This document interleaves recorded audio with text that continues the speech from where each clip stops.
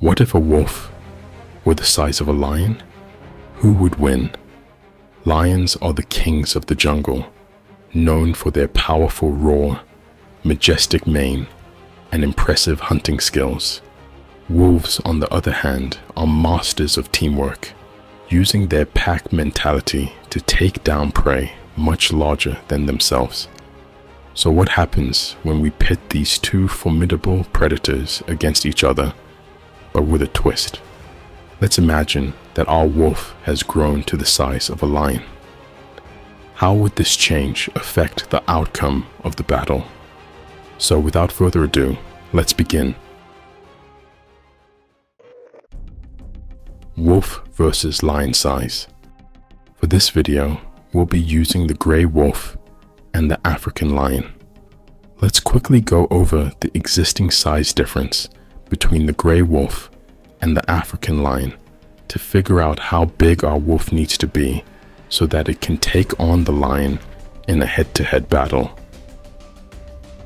Adult grey wolves typically weigh between 50 to 100 pounds, 22 to 45 kilograms. In contrast, the African lion particularly the adult males with their distinctive manes, are notably larger, with weights ranging between 330 to 550 pounds, 150 to 250 kilograms. So, for the wolf to beat the lion, we would have to grow it to about the same size. Let's say that our hypothetical grey wolf is now 440 pounds, 200 kilograms. Would the elimination of the size difference be enough for the grey wolf to win against the African lion? We'll just have to wait and watch.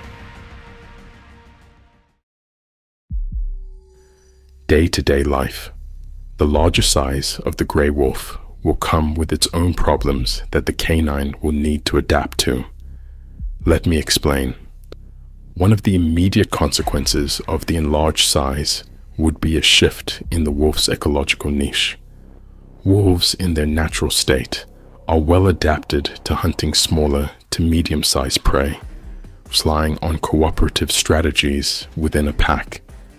With the lionized stature, the hypothetical wolf would likely have to target larger prey. This shift might lead to a change in the wolf's range and territory as it seeks out habitats that can support a diet of larger herbivores. Furthermore, the interactions between the wolf and other predators in its ecosystem would be interesting. While wolves are known for their cooperative hunting strategies, the increased size might make the hypothetical wolf less dependent on pack assistance and more capable of tackling larger prey individually. This shift in hunting behavior could potentially alter the dynamics with other predators, challenging the existing balance in the ecosystem. Social dynamics within the wolf pack would likely undergo transformation as well. In a standard wolf pack, there is a hierarchical structure with dominant and subordinate individuals. The introduction of a significantly larger wolf could disrupt this hierarchy, leading to a re-establishment of dominance based on the altered physical prowess of the enlarged individual. Physical enhancements. A series of physical enhancements would occur within the wolf if it were to increase in size. The first and most apparent alteration would be the wolf's overall body size. The skeletal structure would need reinforcement to bear the additional mass resulting in thicker bones and a sturdier frame. Simultaneously, the musculature would undergo substantial development to furnish the strength necessary for tackling larger prey and supporting the increased body weight. Another one of the changes that would occur would be in the wolf's dentition. Wolves, renowned for their sharp teeth, would see a proportional enlargement of their canines and incisors to match the larger jaw structure. This adaptation is crucial for delivering more forceful bites capable of subduing and incapacitating larger prey. Accompanying the enlarged teeth, the wolf's jaw strength and structure would undergo significant enhancements. A more robust jaw would be essential for piercing through the tougher hides and bones of larger animals. This augmentation would serve not only in capturing prey, but also in defending territory and asserting dominance within the ecosystem. While wolves already possess a formidable bite of around 400 psi, it's safe to say that the massive canine would have a bite force of at least 800 psi. The structure of the claws might evolve to become thicker and more robust, capable of withstanding the additional stress exerted by the larger body size. Size often correlates with changes in speed and agility as well. The lionized wolf would be no exception. While larger animals generally face challenges in maintaining high speeds and agility, evolutionary pressures might favor a balance between size and mobility. The wolf's limbs, muscles, and skeletal structure would adapt to preserve a remarkable level of swiftness, ensuring the predator remains adept at pursuing and catching prey.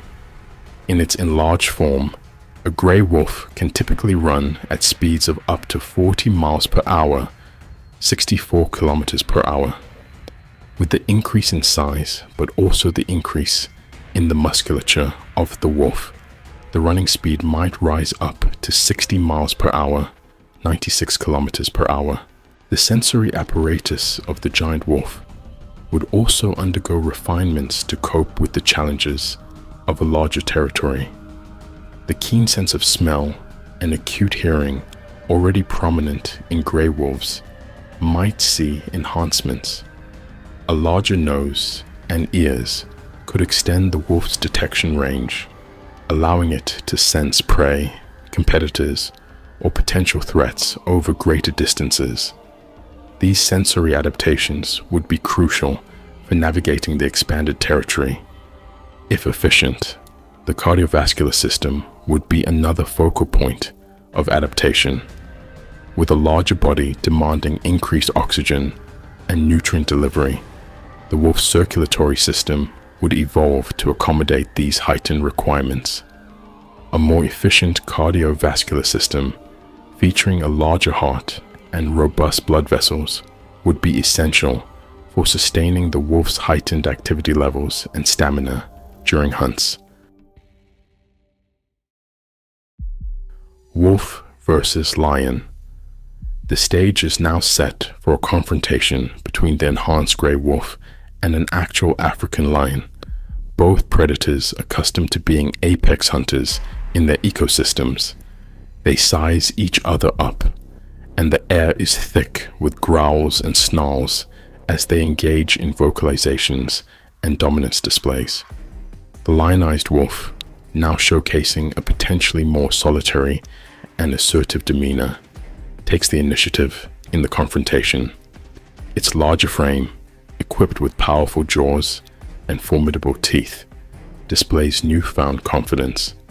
The African lion, a seasoned predator with a rich history of defending its territory, responds with a mix of caution and readiness. The lion, while possessing its own arsenal of hunting adaptations and a well-honed instinct for confrontations, has never seen a wolf this large before. It needs to be ready to either fight to the death or run for its life.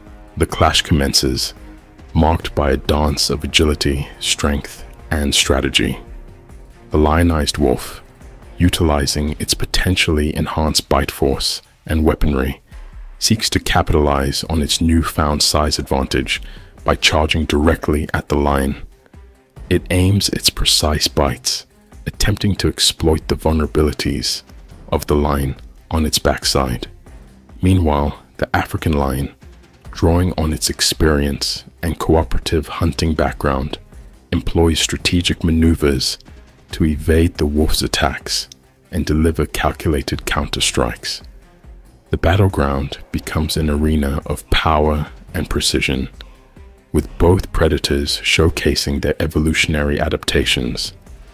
The wolf's larger size allows it to absorb some of the lion's attacks, and its robust frame provides a formidable defense. However, the lion's agility and experience in hunting strategies offer opportunities to outmaneuver the wolf and deliver effective counterattacks. In the end, the lion would definitely be victorious. Even if the size of the wolf surprises the lion, consider that lions, just like other big cats, can also prey on larger animals alone.